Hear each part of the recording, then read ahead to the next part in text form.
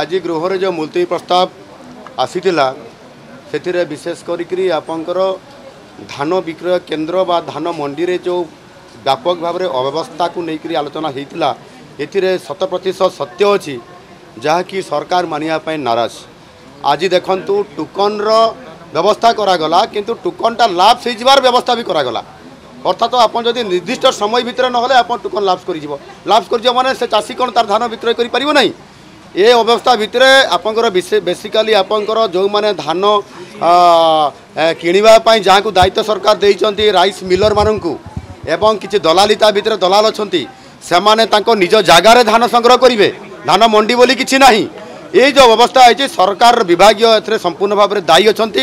ଏବଂ ଆଜି ଗୋଟେ ଡିଏଲ୍ସି ଗଠନ କରାଯାଇଛି ଡିଏଲ୍ସିର କ୍ଷମତା କ'ଣ ଦିଆଯାଇଛି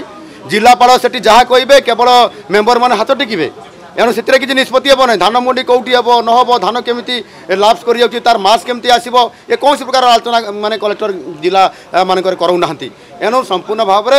ଏଠି ସରକାର ଡିଲର ଆମର ଯେଉଁ ରାଇସ୍ ମିଲର ଅଛନ୍ତି ଏବଂ ଆପଣଙ୍କ ଦଲାଲମାନଙ୍କର କବ୍ଜାରେ ଅଛନ୍ତି ଏବଂ ସମ୍ପୂର୍ଣ୍ଣ ଭାବରେ ଧାନ ଠିକ୍ ଭାବରେ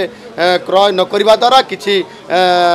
ଟୋକନ୍ ଲ୍ୟାପ୍ସ ଯେଉଁ ହେବା ପ୍ରବଳ ଭାବରେ କେବଳ ପଶ୍ଚିମ ଓଡ଼ିଶାରେ ନୁହଁ ସାରା ଓଡ଼ିଶାରେ ହେଇଛି ବ୍ୟାପକ ଭାବରେ ଆଜି ଚାଷୀ ହନ୍ତସନ୍ତ ହୋଇଛନ୍ତି ଧାନ ଅଭାବୀ ବିକ୍ରି କରିବା ପାଇଁ ବାଧ୍ୟ ହୋଇଛନ୍ତି ସେଥିପାଇଁ ରାଜ୍ୟ ସରକାର ଦାୟୀ ଅଛନ୍ତି ଆଗାମୀ ଦିନରେ ଚାଷୀଙ୍କୁ ଯେଭଳି ଭାବରେ ସେ କଷ୍ଟ ଦେଇଛନ୍ତି ତାର ପରିଣାମ ନିଶ୍ଚିତ ଭାବରେ ସରକାର ଭୋଗିବେ ଆଉ ସେଥିପାଇଁ ତାର ପ୍ରତିକାର କରିବା ପାଇଁ ଭାରତୀୟ ଜନତା ପାର୍ଟି ଆଗାମୀ ଦିନରେ ଆବଶ୍ୟକ ପଡ଼ିଲେ ନିଶ୍ଚିତ ଭାବରେ ରାଜସ୍ଥାକୁ ମଧ୍ୟ ଓହ୍ଲାଇବା ଆନ୍ଦୋଳନ ଜୋରଦାର କରିବ Vaijuram IAS Academy exciting offer on this Utkal Divas scholarship test for IAS and OS coaching an attractive discount of 60% off register now